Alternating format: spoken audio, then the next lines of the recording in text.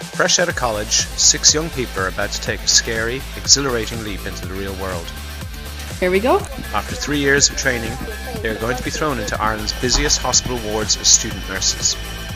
I'm still considered dangerous. Gone are the days of classrooms and mannequins. Now it's for real. like, oh, sorry, no, no, like I can't. It's actually very important. The heat goes off, you run. Have they got what it takes? It's not just sink or swim, it's life or death. bit nervous. Actually, you know, kind of hasn't hit me yet anyway. God forbid I walked in, someone was dead in the bed. Okay, what do we do now? In Cork, there is Linda, Ken, and Heather. And in Waterford, there is Joanna, Eleanor, and Mary. We are with them every step of the way. For the good times. And the bad. It's days like these would just break your heart.